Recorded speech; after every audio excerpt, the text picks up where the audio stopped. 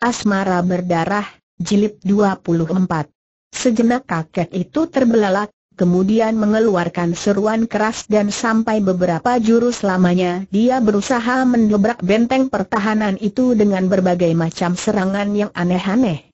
Tetapi semua serangannya ternyata kandas dan tidak mampu membobolkan benteng-benteng pertahanan dari ilmu silat Tai Kek Sin Kun itu.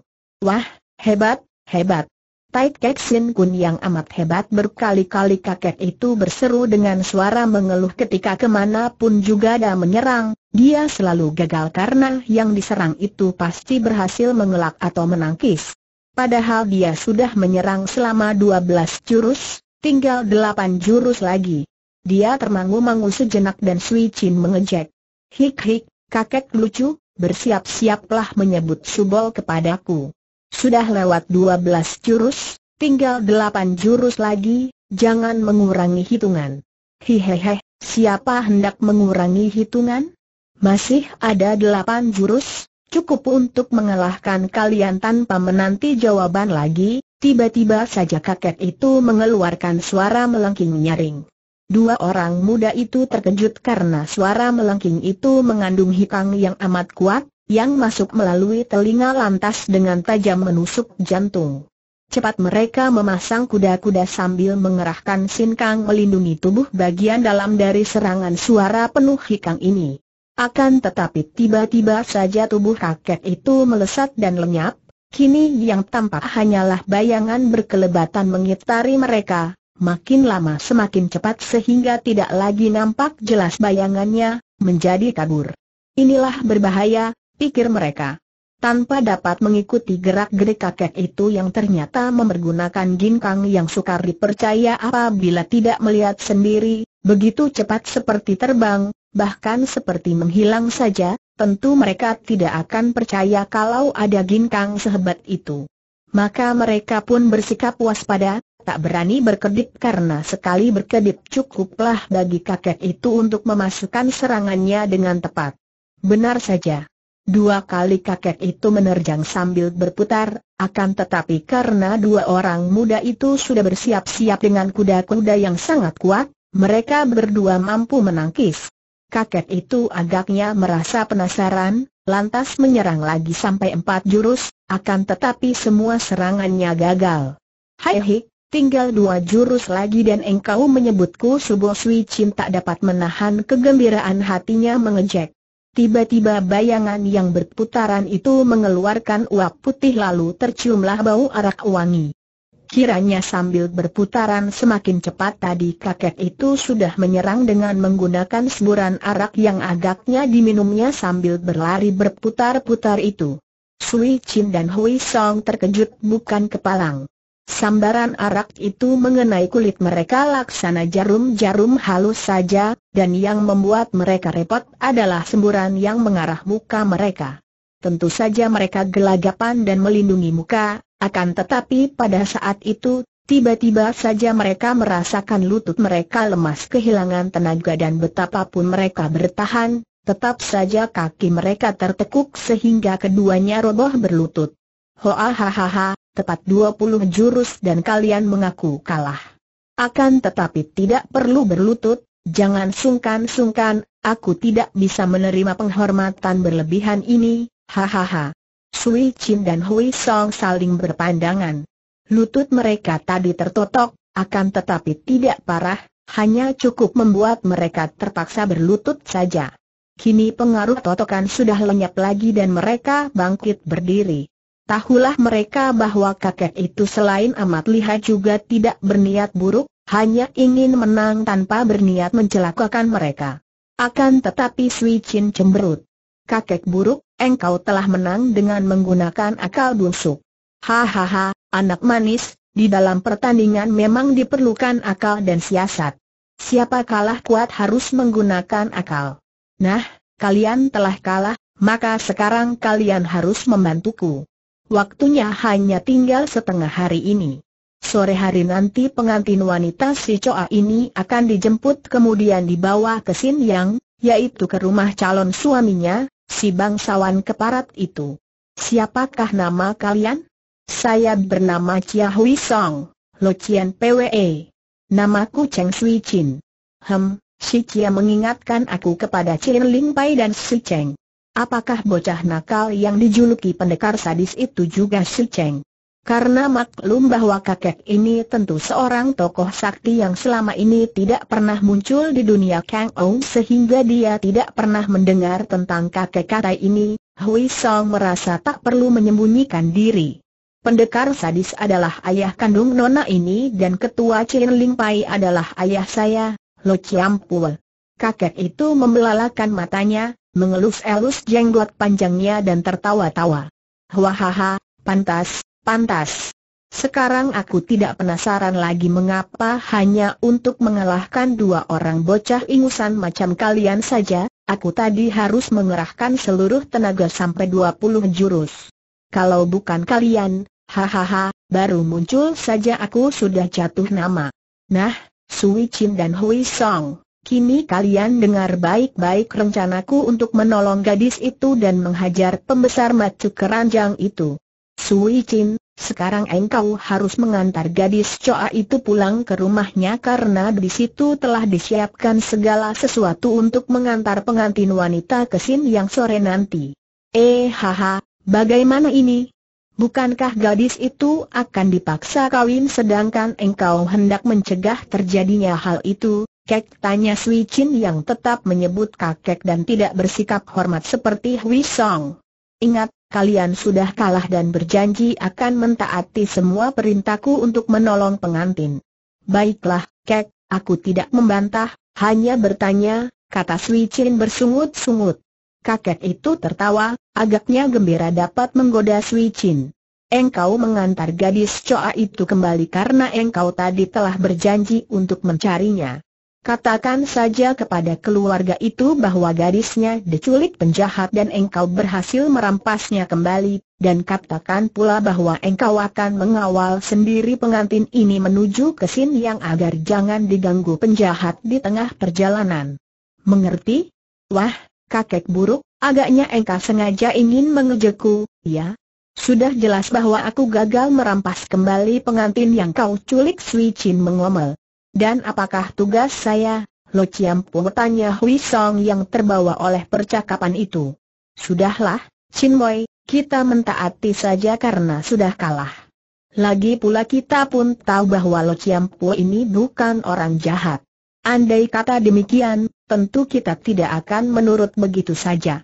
Hehe, putra Chin Ling Pai ini sukar mempercaya orang, dan selalu menyangka buruk. Untukmu aku sudah mempunyai tugas yang sangat tepat. Engkau akan kudandani, ingat, engkau harus taat kepadaku. Hei, orang muda, kau bawa ke sini pakaian pengantin itu kata kakek itu kepada Lo Seng. Lo Seng mengambil sebuah bungkusan di sudut goa kemudian menyerahkannya kepada si kakek yang segera membuka bungkusan dan keluarlah seperangkat pakaian pengantin berikut penghias rambut dan sebagainya, milik nona pengantin Choa yang disangka lenyap dicuri orang itu. Melihat ini, Hui Song terbelalak dan mukanya berubah merah. Lo Chiam Pual, apa maksudmu? Akan tetapi kakek itu telah menghampirinya, mementang pakaian pengantin wanita yang lebar dan berwarna indah dengan hiasan huruf-huruf yang berbunyi bahagia itu. Engkau harus mentaati perintahku, menjalankan siasatku. Lekas pakai pakaian ini. Engkau harus menyamar sebagai pengantin wanita, menggantikannya kelak untuk diboyong ke rumah pejabat itu. Wah! Ini, ini, Hui Song tergagap dan bingung. Hik hik. Tuaku, kita sudah kalah dan berjanji mentaatinya. Engkau juga harus mentaati perintahnya, Sui Chin tertawa-tawa gembira dan geli ketika kakek itu memaksa Hui Song memakai jubah pengantin di luar pakaiannya sendiri. Karena pakaian pengantin itu memang besar kedodoran dan tubuhnya pun sedang saja, maka pakaian itu dapat juga menutupi tubuhnya dan tentu saja kelihatan lucu. Apalagi sesudah kakek itu memaksanya memakai rangkaian bunga di kepalanya. Sui Chin melihat ini sambil tertawa-tawa geli, sampai memegangi perutnya saking gelinya. Apalagi melihat betapa Hui Song menjadi bengong dan melongo saja dengan muka yang ketololan, dia pun menjadi semakin geli.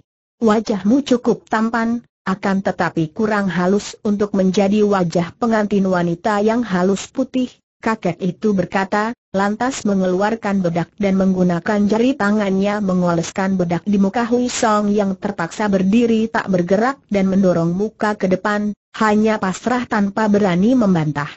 Sui Chin yang berdiri di belakangnya tertawa gembira. Wah, sulit amat. Membungkuklah, Hui Song. Wah, alismu terlalu tebal, jadi harus dicukur bersih dan dibikin kecil, kakek itu tertawa-tawa. Wah, jangan, Lo Chiam Po Hui Song berkata khawatir. Melihat ini, Sui Chin cepat turun tangan. Kakek nakal, biarkan aku saja yang mendandani Song Tlako, ditanggung akan kelihatan lebih cantik menarik daripada kalau engkau yang merusak mukanya. Sui Chin memang ahli dalam melakukan penyamaran dan sesudah dia turun tangan, maka wajah Hui Song memang kelihatan cantik, walaupun tentu saja alisnya masih terlalu tebal dan juga tubuhnya sangat kaku. Kakek itu lalu menjelaskan siasatnya. Gadis Choa akan diantar pulang oleh Sui Chin, dan selanjutnya mereka akan bergerak menukar pengantin lantas memberi hajaran kepada pembesar itu. Sementara itu pemuda Loseng diharuskan menanti di dalam goa. Maka berangkatlah mereka. Sui Chin mengantar gadis Choa pulang ke dusunnya. Choa Lan Kim tidak merasa takut ketika dibawa pulang ke dusun oleh Sui Chin, sebab gadis itu telah diberitahu bahwa para orang gagah itu akan menolongnya dan akan melepaskannya dari cengkeraman pembesar di sini yang agar dia dapat hidup bersama Loseng. Lurah Choa dan orang-orangnya menyambut kedatangan mereka dengan gembira sekali. Dengan gayanya yang sangat menarik, Sui Chin menceritakan bahwa Lan Kim diculik oleh gerombolan penjahat yang berilmu tinggi, akan tetapi dia berhasil merampasnya kembali. Lanjutkanlah upacara pernikahan, dan aku sendiri yang akan mengawal Encilan Kim ke kota Sin yang agar dapat membasmi para penjahat yang hendak mencoba menghadang di tengah perjalanan. Tentu saja keluarga Choa menjadi gembira sekali dan Sui Chin disambut dan dijamu seperti seorang tamu agung yang sangat dihormati. Kepada Lurah Choa, Sui Chin memberitahukan bahwa sekarang kawannya masih menyelidik gerombolan itu, membayangi mereka ketika mereka melarikan diri. Lan Kim lalu didandani dan kini gadis itu tidak menolak lagi, tidak kerewel sehingga ibunya merasa lega dan senang. Walaupun pakaian pengantin yang dikenakan nona pengantin itu dibuat tergesa-gesa dan tidak seindah pakaian pengantin yang hilang, namun Lemkin nampak cantik dan anggun dalam pakaian pengantin. Setelah saatnya tiba maka muncullah jemputan dari Sin Yang, utusan pengantin pria yang mengirim joli dan barang-barang hadiah. Pengantin pria sendiri tidak muncul. Bukankah dia seorang pejabat tinggi di Sin Yang dan Lan Kim hanya menjadi istri kelima? Kedudukannya terlampau tinggi untuk merendahkan diri turun ke dusun menjemput sendiri calon istri kelimanya. Para utusannya saja sudah cukup membuat keluarga Choa merasa terhormat sekali, apalagi para utusan itu datang membawa hadiah-hadiah yang luar biasa banyaknya bagi keluarga lurah itu. Setelah Lurah Choa menceritakan kepada para utusan bahwa di dusun itu baru saja terjadi gangguan dari gerombolan penjahat, dan bahwa Sui Chin adalah seorang pendekar wanita yang akan mengawal pengantin, para pesuruh dari kota itu pun merasa gembira. Siapa tidak akan gembira melakukan perjalanan di kawal seorang pendekar wanita secantik itu? Berangkatlah rombongan pengantin, diiringi suara musik dan petasan, juga suara tangisan ibu pengantin dan para keluarga wanita lainnya. Tangis para keluarga wanita mengantar pengantin ini sudah merupakan semacam kebiasaan dan tradisi yang tidak mungkin dapat ditinggalkan lagi. Sukar lagi membedakan mana tangis yang sungguh-sungguh dan mana tangis buatan, seperti juga ratap tangis yang terdengar pada peristiwa perkabungan. Memang menyedihkan kalau kita benar-benar mau membuka mata dengan waspada dan melihat betapa kepalsuan-kepalsuan semakin tebal menghiasi kehidupan kita. Tawa kita, tangis kita, kebanyakan merupakan perbuatan yang palsu dan pura-pura untuk menutupi atau menyembunyikan keadaan yang sesungguhnya dari batin kita. Dengan dalih demi sopan santun, demi tata susila dan lain sebagainya, banyak hati yang sedang berduka memaksa mulutnya supaya tersenyum atau sebaliknya, batin yang tidak sedang prihatin memaksa mata supaya menangis. Bahkan setiap hari kita selalu seperti terpaksa untuk berpura-pura, berpalsu-palsu, bersikap ataupun berbuat yang berlawanan dengan batin. Tidak adanya persamaan atau keserasian antara batin dan ucapan, antara batin, ucapan dan perbuatan, merupakan konflik-konflik yang setiap hari terjadi dalam diri kita. Semua itu bahkan seperti sudah menjadi suatu keharusan, suatu kebiasaan bagi kita. Dapat kita selidiki pada diri sendiri. Kalau kita berhadapan dengan orang lain, kalau kita bersikap manis, tersenyum, menangis, benarkah semuanya itu sesuai dengan suara hati kita? Ataukah hanya pura-pura saja, sekedar memenuhi syarat umum supaya dianggap sopan, beradab dan sebagainya? Mengapa harus begini? Tidak dapatkah kita bersikap wajar dan selalu ada keserasian antara batin, ucapan dan perbuatan?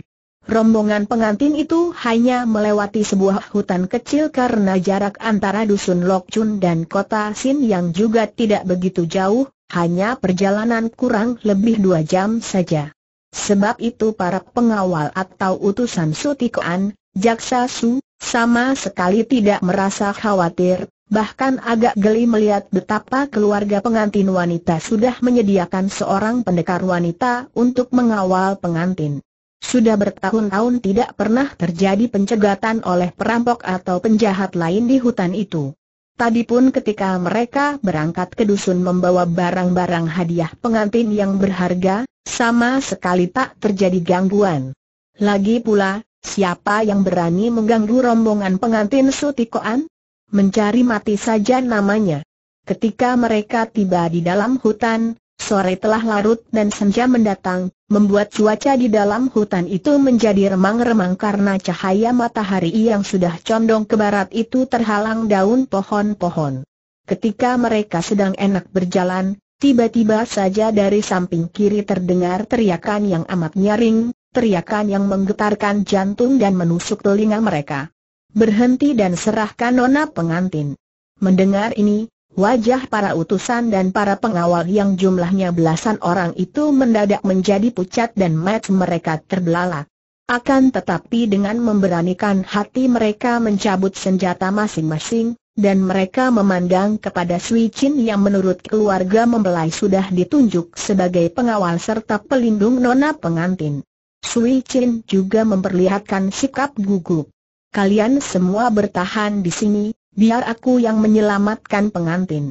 Aku tunggu kalian di luar hutan ini berkata demikian. Sui Chin lalu mengambil joli atau gerobak dorong itu lantas mendorongnya sendiri sambil berlari keluar dari hutan. Tiba-tiba muncullah seorang yang melihat pendeknya tubuh tentu seorang remaja, akan tetapi dia memakai kedok lebar yang menutupi seluruh wajahnya, hanya memperlihatkan sepasang metu yang bersinar mencorong dari balik lubang-lubang kedok kayu itu. Sambil mementangkan kedua lengannya, orang yang bertubuh kecil pendek seperti anak-anak ini berkata, Hayo tinggalkan semua senjata dan pakaian kalian di sini kalau ingin selamat. Jika tadi semua orang itu merasa takut, kini mereka malah tersenyum mengejek. Kiranya yang menghadang mereka hanyalah seorang anak kecil saja, yang ingin menakut-nakuti mereka dengan kedok setan, seolah-olah mereka semua dianggap sebagai serombongan anak-anak penakut saja. Heh, bocah setan, apakah sudah bosan hidup bentak kepala rombongan? Hayo buka kedokmu dan cepat berlutut minta ampun karena telah mengejutkan hati kami. Hei hei hei, rombongan tikus. Lekas lakukan perintahku tadi atau kalian harus berlutut delapan kali dan menyebut aku Kong Chow. Tentu saja rombongan itu menjadi marah. Seorang di antara mereka melangkah maju dan mengayun tangan menampar ke arah muka anak bertopeng itu dengan keras. Orang ini tinggi besar dan tangannya pun lebar, ketika menampar seperti kipas saja mendatangkan angin. Plak! Sungguh aneh sekali. Anak pendek berkedok itu hanya mengangkat tangan menangkis, tepat mengenai lengan si tinggi besar, akan tetapi seketika si tinggi besar mengaduh dan berjingkrak sambil memegang lengan kanannya yang terasa panas dan sakit seperti tadi bertemu dengan tongkat baja saja. Melihat ini, semua orang menjadi marah dan dengan senjata di tangan mereka serentak menerjang. Hehe, kalian harus berlutut semua, berlutut semua orang berkedok itu tertawa-tawa dan tiba-tiba tubuhnya berkelebat lenyap, disusul teriakan-teriakan lantas belasan orang itu roboh satu demi satu, roboh berlutut karena tiba-tiba saja mereka merasa kaki mereka seperti lumpuh. Akan tetapi ketika mereka semua memandang, orang berkedok yang bertubuh pendek itu telah lenyap dari situ, entah ke mana dan agaknya orang itu tidak melakukan sesuatu lagi, buktinya barang-barang mereka masih utuh, juga mereka itu semua tidak terluka dan kini dapat berdiri lagi. Tentu saja pengalaman aneh ini membuat mereka merasa amat ketakutan. Belum pernah selama hidup mereka bertemu dengan orang yang sehebat itu kepandaiannya, dan tanpa menanti perintah lagi mereka segera berlomba melarikan diri keluar hutan untuk menyusul larinya Sui Chin yang telah pergi lebih dahulu menyelamatkan nona pengantin itu. Ketika mereka tiba di luar hutan, rombongan itu melihat Sui Chin berdiri menanti bersama Joli Dorong yang diselamatkannya tadi. Maka giranglah hati mereka karena ternyata gadis pendekar itu dalam keadaan selamat dan terutama sekali pengantin wanita ternyata tidak terganggu.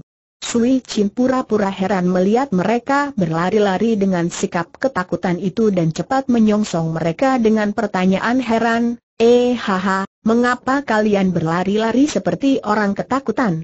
Dengan suara mengandung ketegangan dan napas masih terengah-engah, mereka lantas menceritakan betapa mereka telah diserang oleh seorang penjahat bertubuh kecil seperti kanak-kanak yang memakai kedok.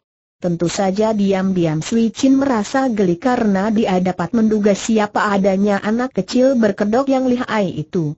Kalau begitu, mari kita cepat pergi dari sini menyelamatkan pengantin sebelum setan itu melakukan pengejaran, katanya. Rombongan itu tentu saja setuju dengan ucapan ini dan dengan tergesa-gesa mereka lalu mendorong joli pengantin yang merupakan gerobak kecil beroda itu. Saking tegang hati mereka, para pendorong gerobak itu tak menyadari bahwa joli atau gerobak yang mereka dorong itu jauh lebih berat daripada tadi. Ketika rombongan yang menjemput nona pengantin sampai di gedung Sutikoan, Ternyata rumah itu tidak dirias dan penyambutan tidak semeriah upacara yang diadakan di rumah nona pengantin. Dan memang hal itu tidak mengherankan. Menikahi seorang wanita untuk menjadi istri kelima, apalagi kalau wanita itu hanyalah seorang gadis desa, tidak dianggap sebagai peristiwa yang patut dirayakan secara besar-besaran oleh pejabat tinggi itu bahkan dianggapnya sebagai suatu kesenian atau hiburan pribadi saja, maka di sana tidak terdapat pesta penyambutan, tidak banyak tamu kecuali beberapa belas orang anak buah pembesar itu. Apalagi ketika para penjemput itu dengan bermacam-macam gaya menceritakan tentang pencegatan orang aneh yang sangat liai, Sutikoan sendiri yang merasa khawatir lantas tergesa-gesa memerintahkan agar pengantin perempuan langsung saja bersama jolinya itu dibawa ke dalam gedung dan langsung ke dalam kamar pengantin. Hanya empat orang yang memanggul joli dorong itu, dengan dikawal oleh Sui Chin. Ketika Sutikoan mendengar bahwa gadis cantik jelita yang turut bersama rombongan itu adalah seorang pengawal yang melindungi nona pengantin, tentu saja dia mengizinkan pengawal cantik ini ikut masuk pula. Hati pembesar bertubuh gendut yang macu keranjang itu segera tertarik kepada Sui Chin. Dia sudah pernah melihat Lan Kim dan kini dia melihat betapa wanita gagah itu jauh lebih cantik daripada gadis desa yang telah diangkatnya menjadi istri kelima, maka tentu saja matanya sudah melirak-lirik dan mulutnya tersenyum-senyum ceriwis. Apalagi ketika dia melihat betapa wanita perkasa yang cantik jelita itu bersikap manis dan selalu tersenyum kepadanya. Pembesar yang usianya telah 60 tahun ini memang terkenal macu keranjang dan agaknya dia beranggapan bahwa semua wanita besi dibeli dengan harta dan kedudukan. Baginya, wanita tentu akan tunduk dan mau kalau dipameri harta dan kedudukan tinggi, Walaupun dia sudah tua dan wajahnya buruk, dengan muka kasar menghitam dan perut gendut seperti perut babi. Maka, ketika Joli tiba di depan kamar yang sudah dipilihnya sebagai kamar pengantin bagi calon istrinya yang kelima, dia menyuruh empat orang pemikul Joli itu pergi. Joli lantas diturunkan dan kini didorong oleh Sui Chirin sendiri memasuki kamar atas isyarat pembesar itu. Lima orang pelayan wanita yang muda-muda dan cantik dengan suara ketawa ditahan yang genit turut pula memasuki kamar dan mereka ini segera mempersiapkan hidangan yang lezat dan mewah di atas meja dalam kamar. Nona tentu lelah dan baru saja mengalami peristiwa yang menakutkan. Silakan duduk, Nona, kata pembesar itu. Tanpa banyak pura-pura lagi Sui Chin lalu duduk di atas kursi, menghadapi meja makan sampai semua hidangan diatur di atas meja dan pembesar itu menyuruh semua pelayan keluar dari dalam kamar. Tinggalkan kami dan jangan ganggu atau masuk kalau tidak dipanggil, kata pembesar gendut itu. Sambil cekikikan para pelayan itu kemudian berlarian keluar. Tentu saja pembesar yang metu keranjang itu tidak pernah membiarkan wanita begitu saja dan semua pelayan yang muda-muda dan cantik-cantik itu di samping bertugas sebagai pelayan, kadang kala juga memperoleh giliran menemaninya di dalam kamar. Karena itulah maka mereka bersikap genit dan berani. Sesudah semua pelayan keluar dan daun pintu kamar itu ditutup dari luar, pembesar itu cengar-cengir mendekati Sui Chin. Kali ini dia memperhatikan wajah wanita gagah ini dan jantungnya berdebar tegang. Inilah wanita cantik, pikirnya. Belum pernah dia memperoleh seorang wanita secantik ini, apalagi kalau wanita ini mempunyai kegagahan, seorang ahli silat pandai yang selain menjadi miliknya sebagai kekasih juga dapat bertugas menjadi seorang pengawal pribadi yang setia dan menyenangkan. Nona, siapakah namamu? Sui Chin mengerutkan alisnya, akan tetapi tidak memperlihatkan rasa jijik dan marahnya. Pembesar ini adalah seorang laki-laki tua yang buruk rupa juga buruk watak. Mana ada seorang pengantin pria yang sedang dipertemukan dengan calon istrinya dan belum juga melihat calon istri yang masih dibiarkan di dalam joli, sudah main metu dan berusaha merayu seorang wanita lain yang baru dijumpainya? Benar-benar seorang buaya darat, Seorang hidung belang yang metu keranjang. Akan tetapi dia pura-pura tersenyum manis dan melirik manja. Taijin, nona pengantin sedang menanti dalam joli. Eh haha, oh haha, ya, aku lupa. Biarlah saya keluar dari kamar dan pulang, Taijin. Eh haha, jargan dulu, jangan dulu, kita makan minum dulu, bersama nona pengantin. Air, aku sampai lupa kepada nona pengantin. Nona pengantin, keluarlah dan mari kita makan minum katanya sambil tersenyum menyeringai dan membuka jol yang tertutup itu. Akan tetapi ketika nona pengantin itu keluar dari joli, Sutikoan terbelalak, matanya yang besar itu melotot seperti meloncat keluar dari tempatnya. Ini, ini, bukan gadis anak lurah itu. Eh haha, siapa eng aku, Berani mati mempermainkan aku dia membentak dan melotot ke arah Hui Song yang berdiri di hadapannya dalam pakaian pengantin wanita. Hui Song yang memang berwatak jenaka dan suka menggoda orang itu kini berlenggak-lenggok genit menirukan lagak seorang perempuan, tentu saja dengan gayanya yang lucu dan kaku, menggigit bibir dan mengerling tajam.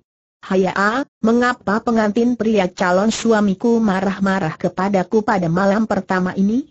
Aih, Kakanda, aku adalah mempelai wanita, calon istrimu yang tercinta.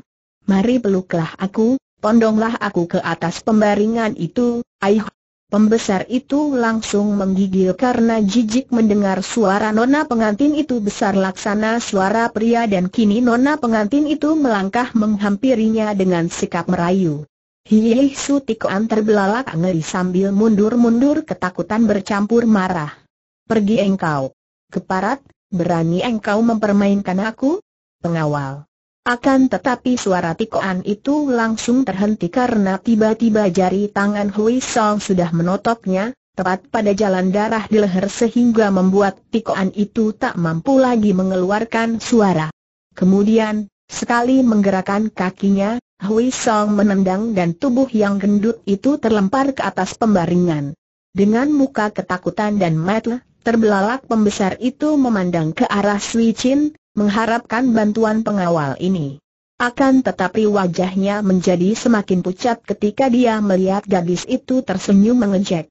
Maka taulah dia sekarang bahwa orang yang menyamar sebagai mempelai putri ini tentunya sekutu gadis itu dan jantungnya hampir berhenti saking takutnya ketika dia melihat Hui Song menanggalkan pakaian pengantin, menghapus penyamarannya dan menjadi seorang pemuda yang tampan dan gagah. Tua bangka macu keranjang, dengar baik-baik.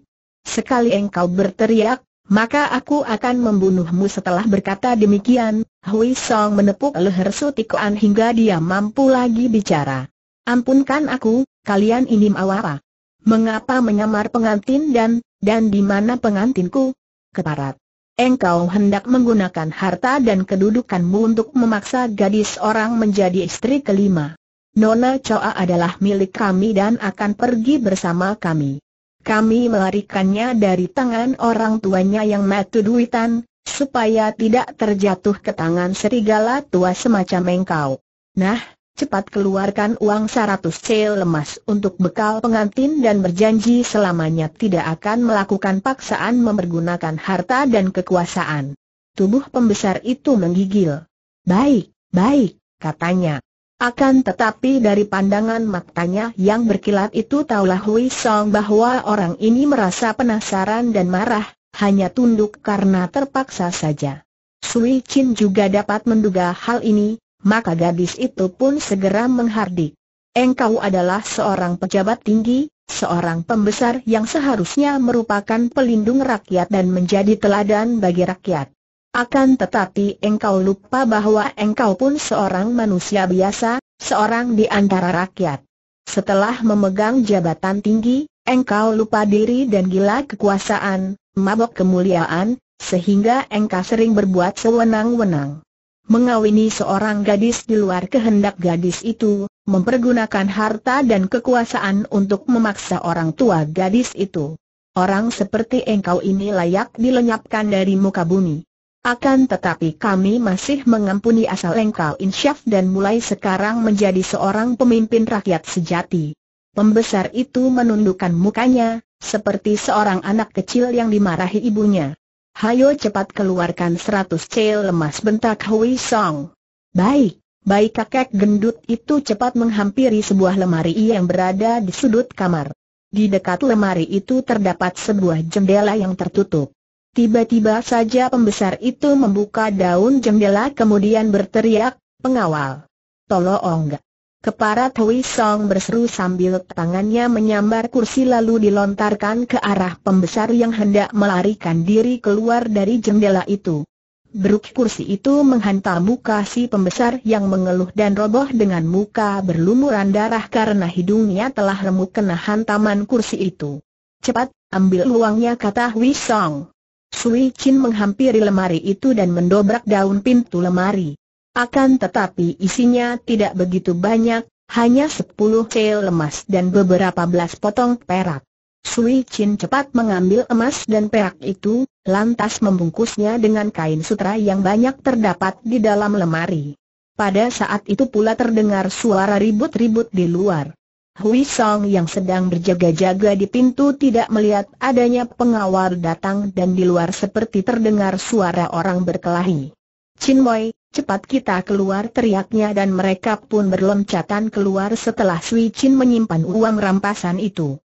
Kiranya di ruangan dalam yang menuju ke kamar itu sudah terjadi perkelahian yang seru. Kakek karai itu sambil tertawa-tawa sedang dikepung dan dikeroyok oleh 20 lebih pengawal dan penjaga yang tadi mendengar teriakan majikan mereka. Walaupun para pengepung itu menggunakan segala macam senjata, namun kakek kata yang bertangan kosong itu menghadapi mereka sambil terkekeh-kekeh. Enak saja dia mengelak dan menangkis semua senjata yang datang kepadanya bagaikan hujan. Beberapa buah senjata bahkan beradu dengan sepasang lengan yang pendek dan kecil dari kakek itu. Akan tetapi jelas bahwa kakek itu tidak mau melukai orang, apalagi membunuh, hanya mempermainkan mereka seperti seekor kucing yang mempermainkan segerombolan tikus. Melihat kakek itu bermain-main, Sui Chin lalu berseru. Kakek, jangan main-main, mari kita pergi. Hei hei hei, kalian telah selesai kata kakek itu dan tiba-tiba saja para pengeroyoknya mengeluarkan seruan kaget ketika tiba-tiba saja kakek yang mereka keroyok itu lenyap seperti berubah menjadi asap dan menghilang.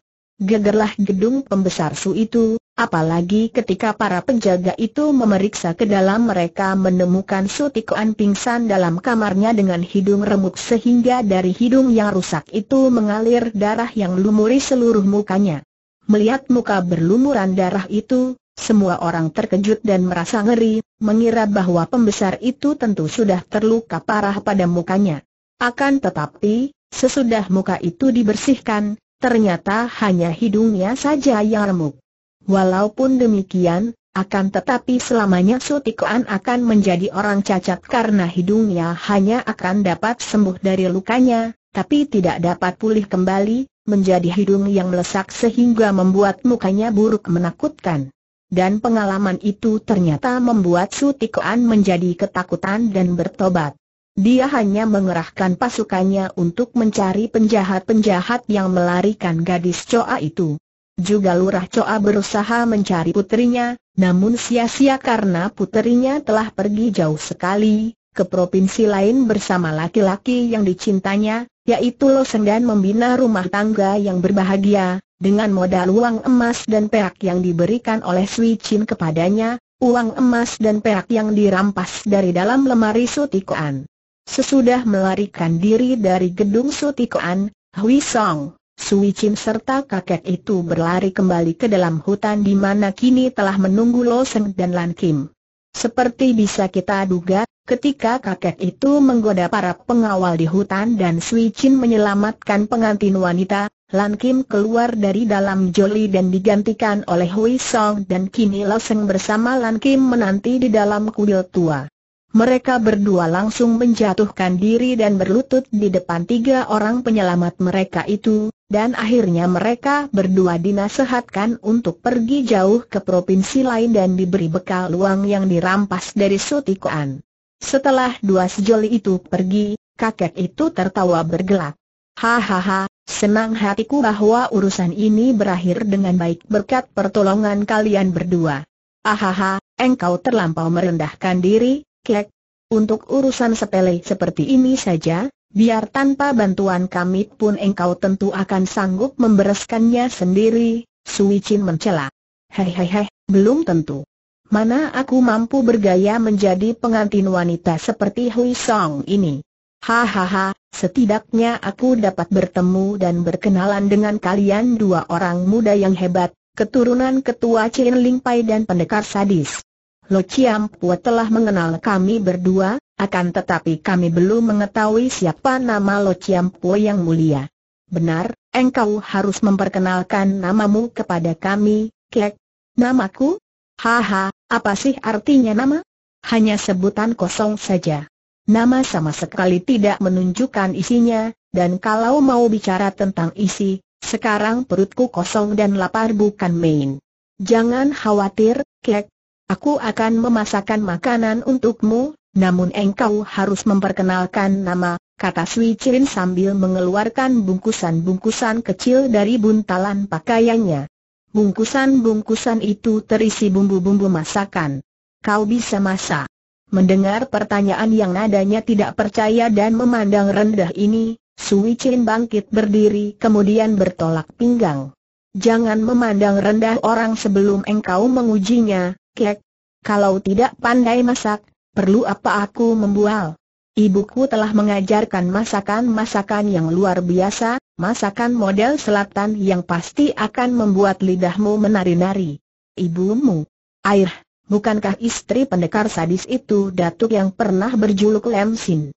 Hahaha, jangan-jangan hanya namanya saja yang besar akan tetapi isinya melompong. Jangan-jangan kalau engkau masak, Hasilnya hanya masakan gosong dan pahit kakek itu tertawa bergelak. Haha, bocah sombong, tentang masak-memasak, kiranya engkau harus belajar dulu dari Wu Ye Ilojin, kakek dari Gunung Wuyei. Hem, dan siapa itu kakek Gunung Wuyei?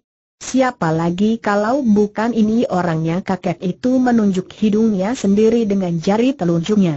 Aku bertapa selama puluhan tahun di puncak Gunung Wuyei, dan sekarang aku menjadi seorang kakek, maka apalagi namaku kalau bukan Wu Ye Lojin? Hahaha. Huh, ternyata engkau seorang pertapa, paling-paling bisanya makan rumput dan daun muda, mana bisa memasak. Mari kita bertaruh. Kalau masakanku kalah olehmu, biar aku mengangkatmu sebagai guru memasak. Akan tetapi kalau masakanku lebih enak, engkau harus memberi hadiah kepadaku. Hahaha kakek itu mengelus jenggot yang panjangnya sampai ke perut itu, nampak gembira sekali. Bagus, coba kau masak untukku, hendak kulihat apakah benar engkau pandai memasak ataukah hanya membual saja. Jika benar-benar masakanmu lebih enak daripada masakanku, engkau boleh minta hadiah, sebut apa saja, tentu akan kuberikan padamu. Benarkah itu? Apa saja yang kuminta akan kau berikan? Seng tuako ini menjadi saksi hidup. Tentu saja, selamanya aku tidak pernah bohong. Ahaha, batal saja, aku tidak jadi masak, kata Sui Chin. Orang seperti engkau ini banyak akalnya, tentu aku akan kalah karena engkau menggunakan akal. Akal bagaimana kakek yang mengaku bernama Wu Ye Jin itu mendesak. Bagaimanapun enaknya, bisa saja engkau bilang tidak enak, tentu saja aku akan kalah. Ahaha, tidak mungkin. Perutku lapar begini, bila mana ada masakan enak, mana tega aku mengatakan tidak enak.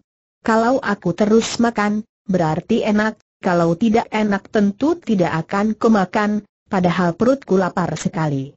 Baik, aku akan mencari bahan masakan berkata demikian, Sui Chin meloncat dan sekali berkelebat, gadis itu telah lenyap keluar goa. Kakek itu mengangguk-angguk dan kini, setelah Sui Chin pergi, sikapnya yang tadi jenaka itu berubah serius.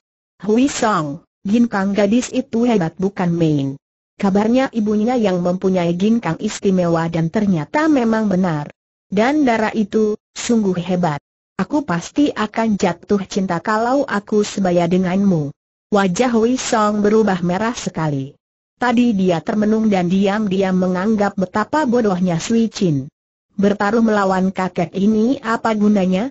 Andai kata menang, apa yang dapat diharapkan dari kakek yang hanya memiliki satu-satunya pakaian mewah yang menempel di badannya berikut guci arak besar itu?